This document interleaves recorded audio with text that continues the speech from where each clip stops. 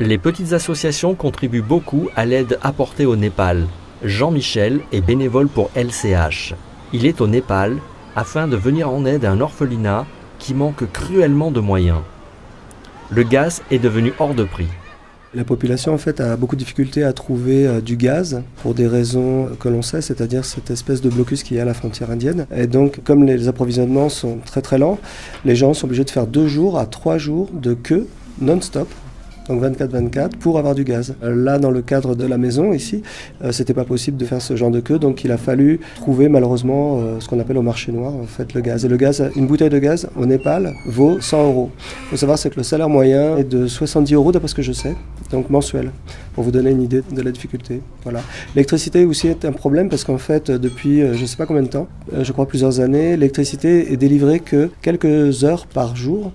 Normalement, euh, il y a un site internet sur lequel on peut voir chaque quartier, à quel moment ils vont être délivrés en électricité. Mais il se trouve que depuis euh, début 2016, c'est pas du tout respecté. C'est-à-dire qu'en fait, ils ne peuvent pas savoir d'avance à quel moment l'électricité va être distribuée. Voilà, donc ça complique beaucoup la vie des Népalais, euh, bien évidemment, tous les jours.